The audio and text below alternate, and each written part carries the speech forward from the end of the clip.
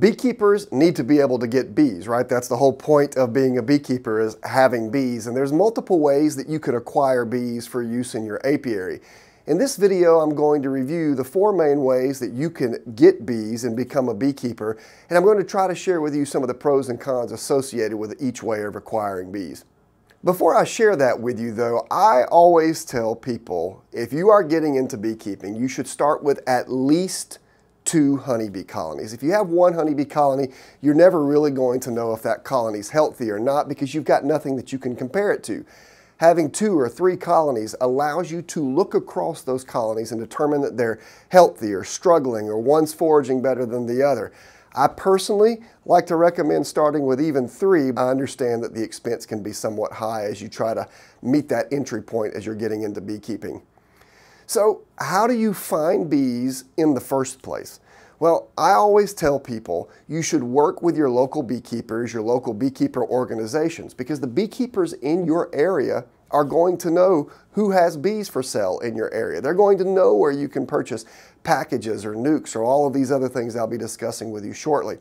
So speaking with beekeepers in your area, joining a local bee club, great ways to find some of these sources of bees that I'm going to be sharing with you in this video.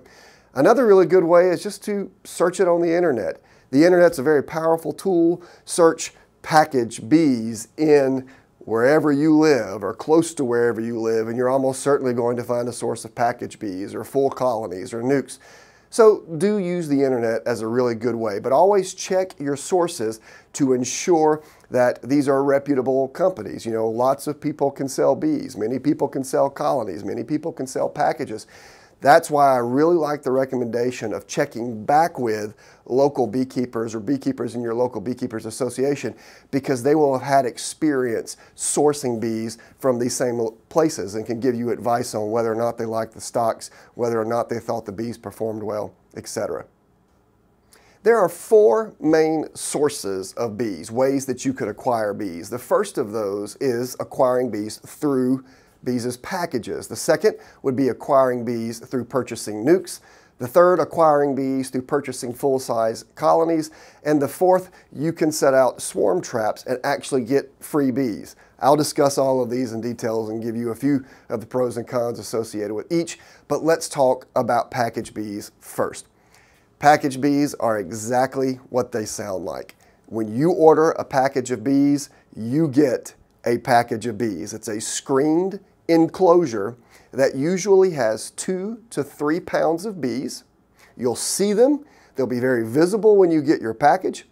And somewhere in the midst of those two to three pounds of bees, there's going to be a little queen cage suspended at the top of that package. That queen is not the mother of the bees in that package. She came from one set of colonies at the package producer and the bees came from another set of colonies at the package producer and they put them all in the same package. That's why the queen is in the cage and not free roaming in the package. You'll also have a feeder jar of some sort in that package, usually in can form, and it's got sugar syrup or corn syrup so that the bees and the queen can feed in transit to you. Some of the pros associated with acquiring bees through packages is packages tend to be somewhat cheap compared to purchasing nucs or full-size colonies.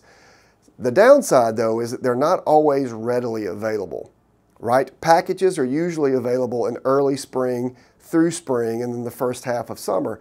And you're like, well, that's when I need bees. Well, guess what?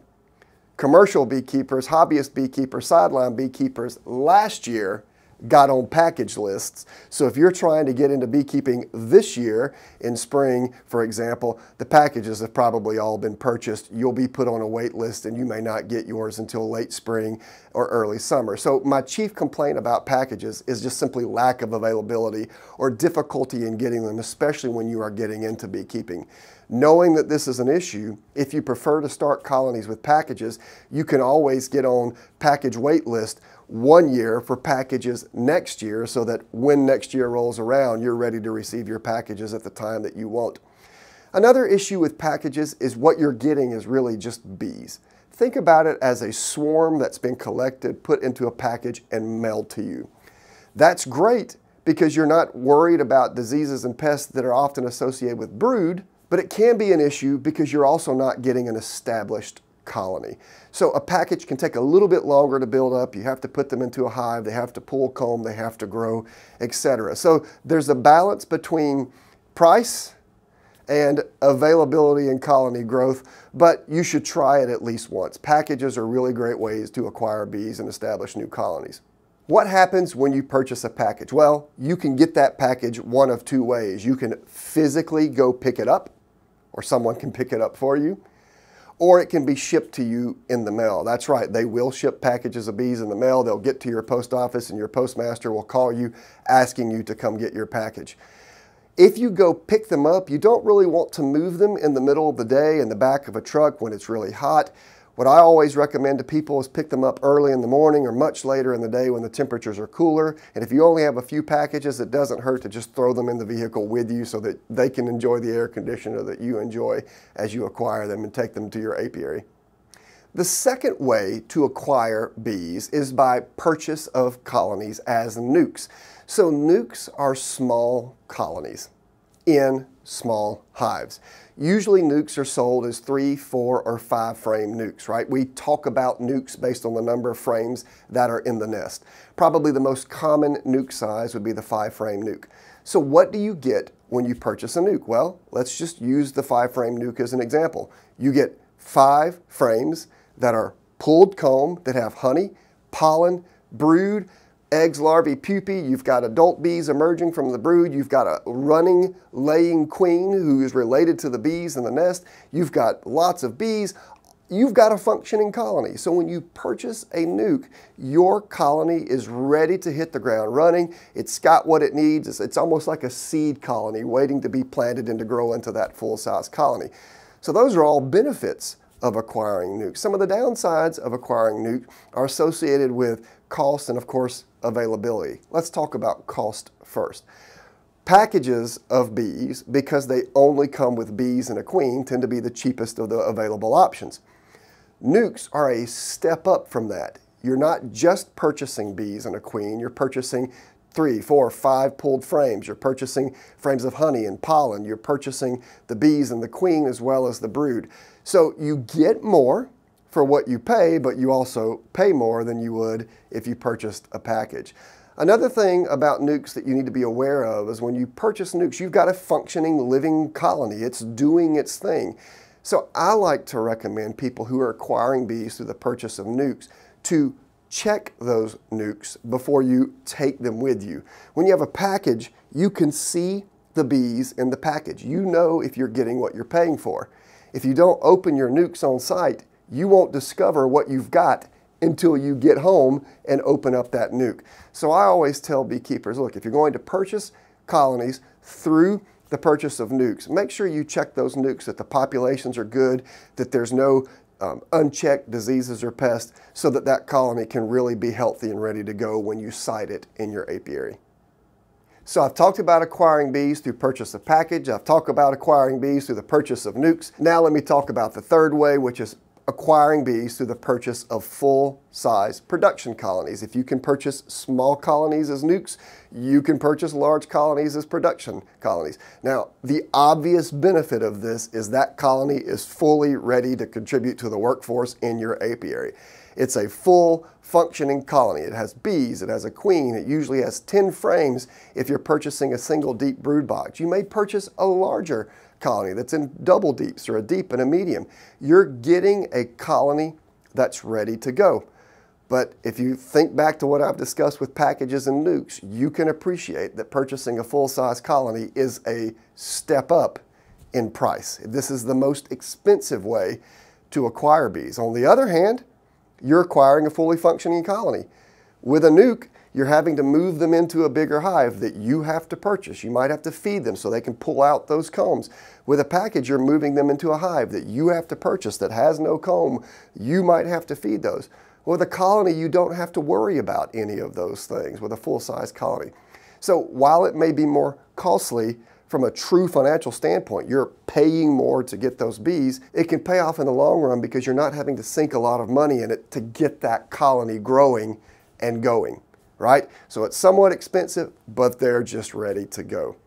The fourth way that you can acquire bees is simply the free bee route. Now, I talked about packages as if they were the cheapest route. They are the cheapest of the three ways that you can purchase bees. But free bees are cheaper still. So, how do you get free bees? Well, beekeepers know that you can set up swarm traps or bait hives in the environment. And during swarm season, colonies in your area that are producing swarms, their swarms may move into those traps or bait hives, and so you're able to collect free bees from the environment. Another way to get free bees is to put yourself on local swarm collection or hive collection lists. There's always homeowners in an area who will contact their local county extension office and say, I've got bees in my tree, I've got a swarm on my swing set, what can I do about it? And if you are the known person in the area, you're going to be the one who gets the phone call to come get those bees, and they're free. They are free in the sense that you're not exchanging money for them, but it does cost you a little. It'll cost you time and gas, the equipment and the experience necessary to collect them. But it's really a good way to get bees in the area. Of course, the downside is it's somewhat like a package. You've got to put them into an empty hive and grow them from there. You're not sure about the disease and pest loads that you're inheriting. And if you live in an area where, you know, African-derived honeybees are present, for example, in southern Florida, the southwestern U.S., you know, you might get colonies that are more defensive than others. But all of those things can be rectified by requeening. All of those things are easily fixable. So again, as new beekeepers, you can get bees through packages, nucs, full-size colonies, or by collecting them in the wild. I will give you one more piece of advice. I've talked throughout this video about getting bees, getting bees, getting bees. Well, there will be times as a beekeeper that you will also need to acquire queens. And a lot of the individuals who sell packages or nucs or full-size colonies will also sell individual queens in cages. How do you find them? Speak to the local beekeepers in your area, do internet searches, look at the beekeeping periodicals. There's lots of advertisements for queen producers in your area. All of these are great ways to get bees. You should try them all at some point in your beekeeping tenure to decide which works best for you. I'm confident that if you collect them, it really doesn't matter how you get them, you can make them into strong production colonies.